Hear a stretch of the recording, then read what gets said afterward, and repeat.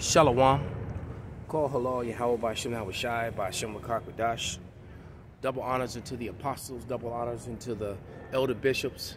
Salutations to all my fellow laborers doing this work in truth and sincerity, risking their lives and their freedom to do so now more so than ever. To the scattered elect that are scattered around the four corners of the earth, that be like unto the speckled bird among the heathen, that look like the heathen, and to the Akwaf that are listening and learning, to you I say Shalom. This is your brother Malcolm uh, from the branch of the Great Millstone here in Chicago, coming at you with another lesson in truth. And um, the inspiration of the video that I'm going to do today was uh, a short video compilation of of, uh, of Edomites complaining about um, Putin um, dropping bombs, you know, on women and children when, you know, America has been doing that every, I mean, since forever. All right, through, through from from as long as I can remember, through you know through through from from Reagan to the to the, all the Bushes to to you know uh, from uh, uh, Clinton to to uh, Obama, you know, uh, constantly. But Obama was constantly talking about predator drones. I mean, how many times that you know that you look on the news where a predator drone had struck a whole wedding and killed a whole bunch of uh, uh, you know, brown people, you know, Ishmaelites, Arabs, and things of that nature. And, you know, dropping and bombing in different African nations, in Libya, and you know, in, in Syria. I mean, the list just goes on and on and on and on and on. And women and children dying. And but yet, when when it starts happening to to Edomites, they, you know, there's this there's this cry out. Well, guess what? A whole bunch more of you are gonna die, man. Ain't nothing you can do about it. All right this is prophecy coming to pass. But let me grab uh, a couple quick scriptures. Take these glasses off. I was trying to find. I had a list, and now it seems to be uh, evading me. I had a list of all the all the U.S. bombings, and you know, and it was it was it was over 30, you know, on, on this list, and and that's just a small portion of it. But you know, and, and regime overthrows and things like that. But let me get to these scriptures. Um, the first scripture is going to be um, 2nd Ezra 11 and, and uh, 32. So let's go there. 2nd Ezra 11 and 32 and it reads, But this head put, put the whole earth in fear, and bear rule over it, over all those that dwelt upon earth with much oppression, and it had governance of the world more than all the wings that, that had been. And, you know, even though this scripture is talking about Esau in the ancient world, it, but, you know, remember, the, the it's, it's manyfold, you know, the, the, the duality of the scripture. So it's talking about now, too.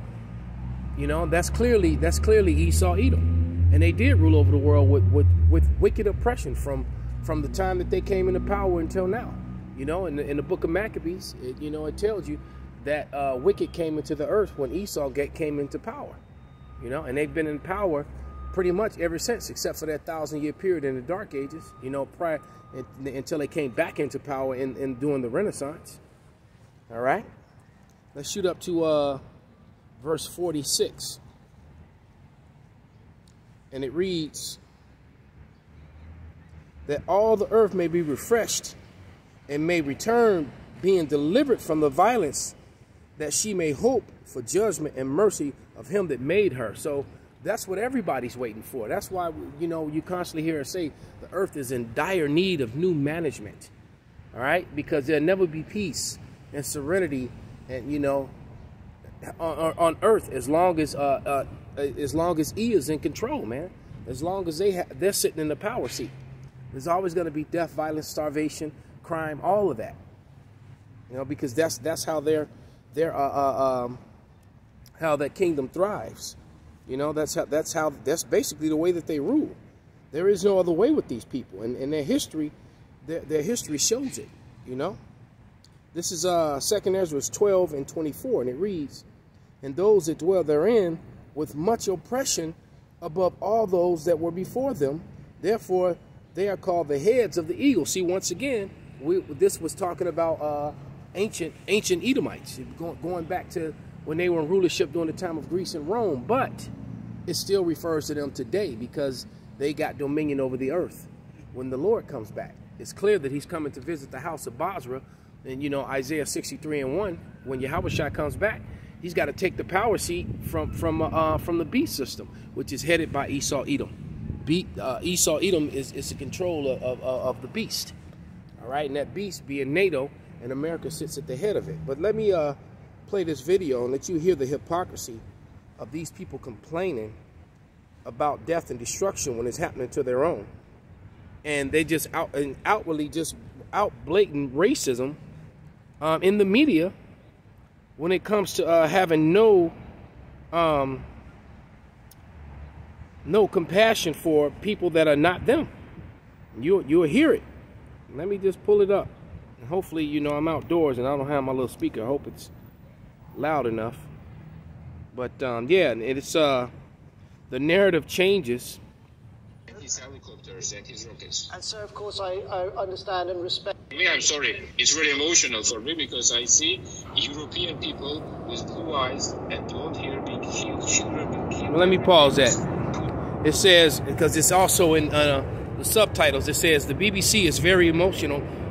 For me, this is this was on the BBC, and it says it's very emotional uh, for, for me because I see European people with blue eyes and blonde hair being killed. Ukraine's deputy chief prosecutor David, you know, whatever, however the hell you say his bugged out ass last name, but he, he didn't feel that same compassion when it's Syrian children, women and children with brown skin and brown eyes, right? When it's Palestinian. Uh, uh, women, children with brown hair, and brown eyes, especially when it's so-called Negroes with brown hair and brown eyes, you know, or, or some of those African nations had no problem then.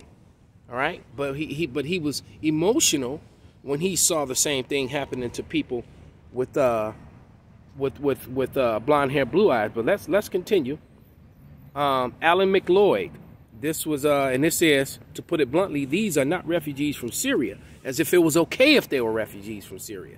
It says these are not refugees from Syria, um, these are refugees from Ukraine. They're Christians. They're white.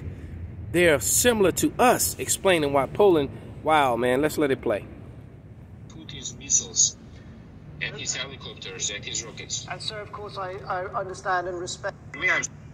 On est au 21e siècle, on est dans une ville européenne et on a des tirs de missiles de croisière comme si on était en Irak ou en Afghanistan, vous imaginez on est au 21e siècle, on est dans une ville européenne et on a des tirs de missiles de croisière comme si on était en Irak ou en Afghanistan, vous imaginez Okay, he was speaking in French, so I'm going to read the subtitles. It says, uh, this is BFM TV in France. We are in the 21st century. We are a European city and we have cruise missiles fired though we were as though we were in Iraq or Afghanistan. Can you imagine? You you hear the, the hypocrisy of these devils? They letting it off for all you melanated people, you know, you non-Israelites, but other brown people who subscribe to these people, man.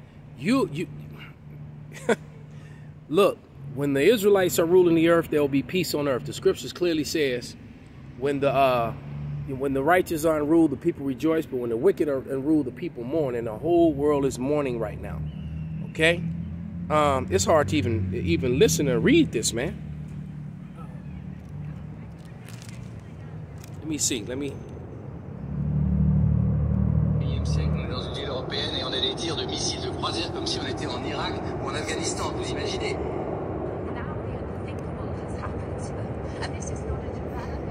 Yes, it's just too much background noise. I'll just read it.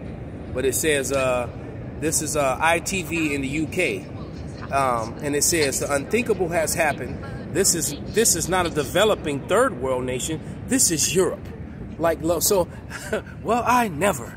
No, bitch, you are now. All right, but um, you know that's that's enough for that, man. I was gonna let it play through, but uh, yeah, let me just turn it off and get back into the scriptures, man, because that's that's annoying, man. Very annoying. Um,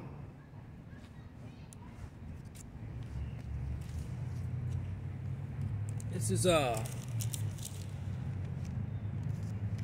Wisdom of Solomon. Let me pull it up. She was kind of chilly out here in the shade, man. Over there in the sun is nice, but in this shade, you, you remember that you're in Chicago. Man, my fingers are freezing. Hold on. Um,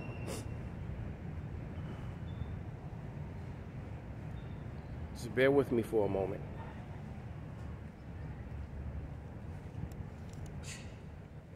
This is Wisdom of Solomon uh, 2, 10, and 11. All right? And it reads, Let us oppress the poor uh, righteous man. Let us not spare the widow, nor reverence the ancient gray hairs of the aged. Let our strength be the law of justice, for that which is feeble is, is found to be worth nothing. I'm going to read that again because that's the true, uh, uh, that's what you just heard. That is what you just heard.